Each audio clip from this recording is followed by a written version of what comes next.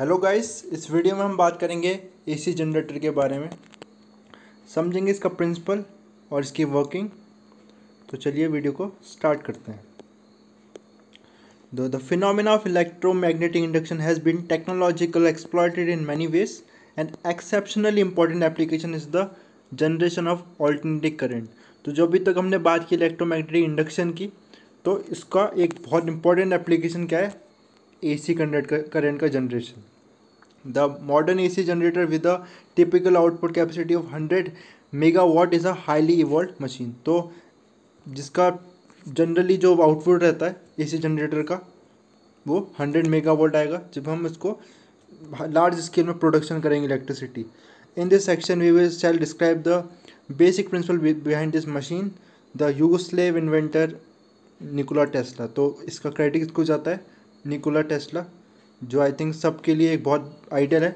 कोई जो भी फिजिक्स पढ़ता है, उनके लिए एक बहुत बड़े आइडल है Nikola Tesla with the development of the machine as was pointed out in six point three one method to induce an E M F और current in a loop is through a change in the loop's orientation और a change in its effective area अब देखो magnetic induce E M F कम कैसे कर सकते हैं? Current को induce कैसे कर सकते हैं? तो उसके लिए हमें फ्लक्स को चेंज करना है। Flux is what B A cos theta तो क्या करो? या तो मैग्नेटिक फ़ील्ड वेरी करो, हमने देखा था। एरिया जो एरिया है इसका, है ना? मोशन ई में देखा था एरिया को वेरी किया था। या फिर क्या कर सकते हैं? इस थीटा को, ये ओरिएंटेशन है है ना? जो भी कॉयल है, इसको हम अगर क्या करें, इसको ओरिएंटेशन को भी वेरी करेंगे चेंज करेंगे तो फ्लक्स में चेंज आएगा। और फ्लक्स में चेंज चेंज आएगा तो उससे magnetic sorry induce E M F E M F induce होगा। तो वही करेंगे हम थीटा को चेंज करेंगे इसके लिए। As the coil rotates in a magnetic field the effective area of the loop the face perpendicular the field is A cos theta where theta is the angle between A and B अब देखो यहाँ पर ये coil है। अभी हम इसको और अच्छे से समझेंगे इसको। तो कॉयल है ये किसमें रखी है? एक मैग्नेटिक फ़ील्ड में रखी है। अगर ये कॉयल रोटेट करती है तो देखो कॉयल का जो एरिया वेक्टर होगा एरिया वेक्टर अब इस, इस केस में एरिया वेक्टर यहाँ है है ना? ये परपेंडिकुलर एरिया वेक्टर क्या होता है? परपेंडिकुलर दिस एरिया और मैग्नेटिक फ़ील्ड का नॉर्थ से साउथ ये बी है और यहाँ ए तो इनके बीच में जो एंगल बन रहा है, इस केस में थोड़ा नाइन्टी बन रहा तो अगर ये रोटेट करता है सपोज़ ये इसका ओरिएंटेशन कैसे हो जाता है? इस तरह से हो जाता है ओरिएंटेशन या इसमें इससे बेटर फिगर दिखाओ मैं तो यहाँ देखो। ये देखो यहाँ पर। इसमें ओरिएंटेशन कैसा है? मैग्नेटिक फ़ील्ड भी इसी डायरेक्शन में एरिया वेक्टर भी इसी डायरेक्शन में। Zero degree theta zero degree है। इस केस में ये नाइन्टी डिग्री इनमें। इस केस में फिर से अगेन ज़ीरो डिग्री है। तो ये ये थीटा एंगल है। यही तो वेरी कर रहा है या रोटेट कर रहा है? जब ये कॉयल रोटेट कर रहा है तो ये थीटा ही तो वेरी कर रहा है और थीटा वेरी कर रहा मतलब फ्लक्स में चेंज आ रहा है। आगे देखते हैं इसमें। तो हम्म तो this method of producing a flux change in the principle of is the principle operation of a simple AC generator तो प्रिंसिपल क्या है एसी जनरेटर का? चेंज इन है ना फ्लक्स फ्लक्स चेंज से हम ई एम एफ़ इंड्यूस कर रहे हैं, यही electromagnetic induction is the principle of flux of AC generator. And AC generator converts mechanical energy into electrical energy और एसी जनरेटर क्या करेगा? एसी जनरेटर मैकेनिकल एनर्जी को इलेक्ट्रिकल एनर्जी में कन्वर्ट करेगा, जिस, हम देखेंगे उसको कैसे? ठीक है? तो बेसिक एलिमेंट की बात कर लेते हैं इसमें। तो देखो, यहाँ पर दो इलेक्ट्रोमैग्नेट्स है है ना? इलेक्ट्रोमैग्नेट्स हैं यहाँ पर north south north to south यहाँ स्लिप रिंग्स है, इनका यूज़ होगा अभी। और ये कॉयल है। आर्मेचर बोलते हैं आर्मेचर कॉयल बोलते हैं। तो ये कॉयल है और ये एक्सल इसके थ्रू हम मैकेनिकली इसको रोटेट कराएँगे इस कॉयल को। तो the basic elements of an AC generator are shown in figure six point one six is consider coil mounted on a rotor shaft ठीक है? तो कॉयल किसमें माउंटेड है? रोटर शैफ्ट में जिसको हम रोटेट कराएँगे। द एक्सिस और rotation of the coil is perpendicular to the direction of the magnetic field और इसका जो एक्सेस है तो ये एक्सेस है जो, है ना? ये किसके परपेंडिकुलर इसके? परपेंडिकुलर मैग्नेटिक फ़ील्ड के। एंड इसके बाद द कॉइल और armature is mechanically rotate in the uniform magnetic field by some external means तो इसे हम रोटेट कराएँगे। अभी देखेंगे किस किन मेथड से रोटेट कराएँगे। The rotation of the coil causes the magnetic flux through it to change so and E M F is induce in the coil तो जब क्या होगा? रोटेशन होगा तो थीटा में चेंज आएगा। मैंने बताया theta is angle between A and B area and the area vector and the magnetic field तो उसमें चेंज आने से क्या होगा? फ्लक्स में चेंज आएगा। और फ्लक्स में चेंज आएगा तो एक ई एम एफ़ इंड्यूस होगा इस कॉइल में। The ends of the coil are connected to an external circuit by means of slipping and brushes ठीक है? तो क्या हुआ देखो, जब इसको रोटेट कराएँगे, अभी आगे हम समझेंगे इसको और डिटेल में। जब यह रोटेट करेगा तो थीटा में चेंज आएगा और थीटा में चेंज आने पे फ्लक्स में चेंज आएगा। और फ्लक्स में चेंज आएगा तो क्या होगा एक? जब भी फ्लक्स में चेंज आता है अकॉर्डिंग टू फेराडे रूल तो minus D phi by D T flux में चेंज आएगा तो ए एम एफ़ इंड्यूस होगा। तो और ई एम एफ़ इंड्यूस होगा और इसको हमने कहाँ कनेक्ट किया? इस आर्मेचर को स्लिप रिंग से और कार्बन ब्रशेज से, जो आपने टेंथ क्लास में देखा होगा इसको हमने वहाँ समझा था है ना? राइट हैंड रूल से समझा था वहाँ पर टेंथ क्लास में, है ना? तो भी हम अप्लाई कर सकते हैं यहाँ पर। और उससे क्या होगा? इससे फिर ऑल्टरनेटिव ई एफ़ में मिल जाएगा और ए सी करंट हम जनरेट कर पाएँगे। अब देखो इसमें the ends of the coil are connect to an external circuit by means of slip ring brushes when the coil is rotated with a constant angular speed omega the angle theta between the magnetic field b and the and the area vector a of the coil at an instant t is theta is equal to omega t ठीक है तो जब इसे rotate करेंगे तो क्या हुआ ये थीटा और theta is what omega into T that is omega क्या एंगुलर वेलोसिटी और ये टाइम तो थीटा वेरी करेगा जब हम इसको रोटेट करेंगे अभी इस डायग्राम में ये और बात क्लियर हो जाएगी जो नीचे डायग्राम है ठीक है इसके बाद देखो।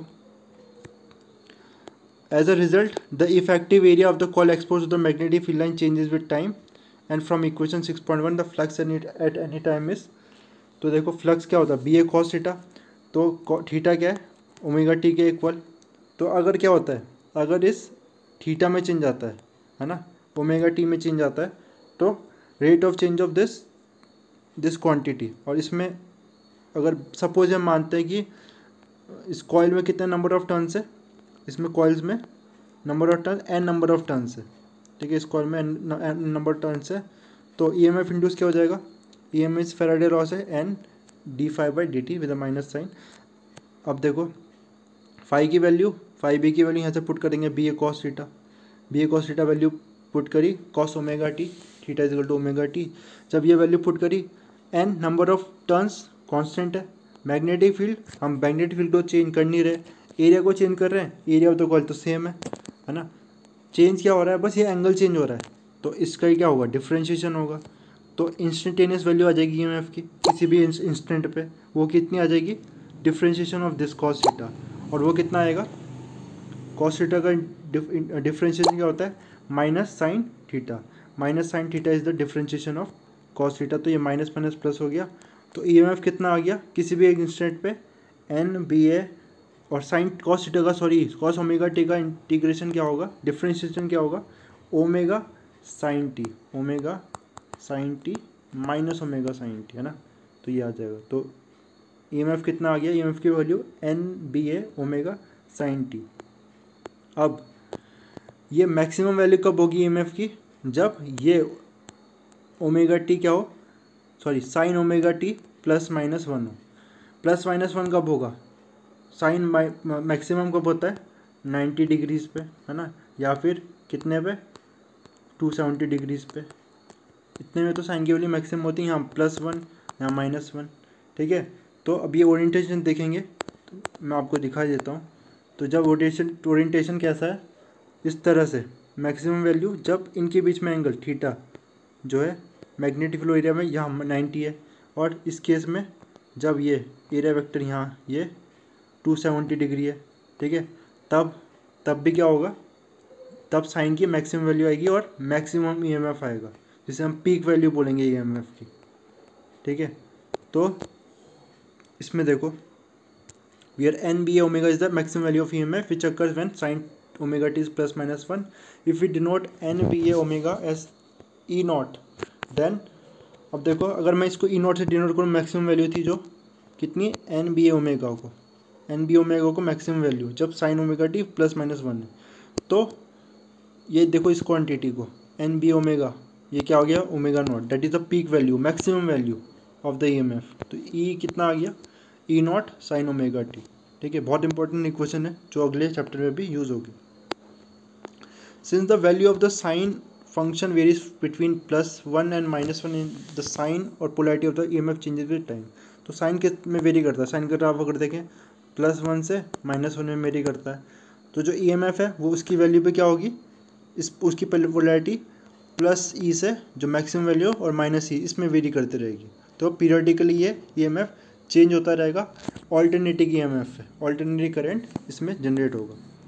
That the E M F has it extreme value at theta equal to ninety और theta equal to seventy. Figure में आप फिर से देखें हम तो मैक्सिमम वैल्यू कहाँ आएगी? यहाँ पर। देखो, ग्राफ में देखो। Maximum induce E M F कहाँ है? इस पॉइंट पर, जब ये एंगल कितना इनके बीच में? नाइन्टी डिग्री है। फिर अगेन टू सेवेंटी डिग्री है।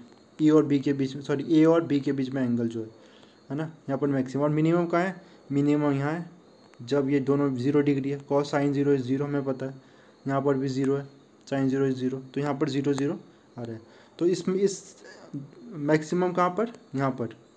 मैक्सिमम जो ई नॉट वैल्यू है और माइनस ई नॉट वैल्यू यहाँ पर वेरी करेगा ई एम एफ़ इसके बाद the direction of the current changes periodically and the current is called autonic current क्योंकि इसमें क्या हो रहा है? ई एम एफ़ की पोलरिटी लगातार प्लस ई से माइनस ई चेंज होते जा रही है है ना? तो क्या होगा ये? इसमें ऑल्टरनेट करेंट प्रोड्यूस होगा। और अगर हम देखें, हमें पता है एंगुलर फ्रीक्वेंसी या angular velocity is two pi into mu. Mu क्या होता है? फ्रीक्वेंसी। फ्रीक्वेंसी किसका? Revolution of the generator coil generator coil की अगर फ्रीक्वेंसी कितनी म्यू है तो हम इसको ई एम एफ़ कितना आ जाएगा हमारा? E M F is E naught sine two pi mu T जिसमें म्यू क्या है? Revolution of the generator. तो इस इस फ्रीक्वेंसी के टर्म में भी हम निकाल सकते हैं ई एम एफ़ को। आगे देखते हैं। Note that the six two three give the instantaneous value of the E M F and E varies from plus E naught to minus E naught periodically we shall learn how to determine the time average value for the alternating voltage and current in the next chapter. इसको हम next chapter में देखेंगे average value निकालना alternate voltage और current का, है ना? अभी हमने ये डायग्राम देखा था, इस ग्राफ का, किसका ग्राफ है? इंड्यूस करंट और इंड्यूस ई में वो टाइम का। तो टाइम के साथ देखो कैसे वेरी कर रहा है ना? ज़ीरो टाइम में जब इनके बीच में एंगल मैंने अभी वैसे बताया था ज़ीरो डिग्री है, इनके बीच में एंगल बी और ए के बीच में तो इंड्यूस ई में ज़ीरो है। जब नाइन्टी है तो मैक्सिमम है ई नॉट है ना? फिर अगेन ज़ीरो डिग्री तो यहाँ, और फिर माइनस ई नॉट तो इस तरह से साइनोसोडल वेव बन रही है। इसके बाद in commercial generator the mechanical energy required for rotation of the armature is provide by the water falling from a height for example from dam जो ये रोटेशन कैसे कराएँगे इन कॉइल्स का? तो उसके लिए हम क्या करेंगे? हाइड्रो इलेक्ट्रिक जनरेटर्स में क्या यूज़ करते हैं? जो वाटर को हम डैम से फॉल कराते हैं हाइट से, है ना? तो उस एनर्जी से वो, जो शाफ्ट रोटेट करते हैं, ठीक है? उससे क्या होगा? ये अमेचर कॉइल्स रोटेट करेगा, ठीक है? Alternately water is heated to produce steam using coal और अदर सोर्सेज है ना? स्टीम को आप यूज़ कर सकते हैं हम, जो नाइन्टी परसेंट जनरेशन इससे होता है। तो थर्मल जनरेटर से जिसमें कोल या स्टीम को वाटर को हीट करेंगे स्टीम प्रोड्यूस होगा और स्टीम ही क्या करेगी उसको? रोटेट कराएगा किसको? इन आर्मेचर कॉयल को। The steam at high pressure produces the rotation of the armature this are got thermal generators of coal, if a nuclear fuel is used, we get nuclear power generators. Modern day generator producer electric power as high as 500 watt to 500 megawatt तक हम क्या कर सकते हैं? Current generate कर सकते हैं। One can light up five million hundred watt bulbs in most generator the coil held stationary and is the electromagnet which are rotated तो हम इसका, हमने अभी क्या देखा? हमने कॉल को रोटेट कराया, लेकिन हम ये भी कर सकते हैं कि कॉल को स्टेशन रखेंगे और इलेक्ट्रोमैग्नेट को रोटेट कराएँगे, तभी वही चीज़ आएगा, उसमें भी थीटा ही चेंज होगा। The frequency of rotation fifty hertz in India तो इसमें इंडिया में जो फ्रीक्वेंसी कितनी है? ए की वो फिफ्टी हर्ट्स है और यू में सिक्सटी हर्ट्स है। ठीक है? तो ये था इस एंड वीडियो का। और इस चैप्टर का। अगर आपको कोई भी मिस्टेक देती है, मेरा एक्सप्लेनेशन है तो प्लीज़ कमेंट सेक्शन में बताइए। मैं उसको करेक्ट करूँगा और वीडियो को री अपलोड करूँगा विद द करेक्ट उस मिस्टेक को ठीक करते, करके। Thank you.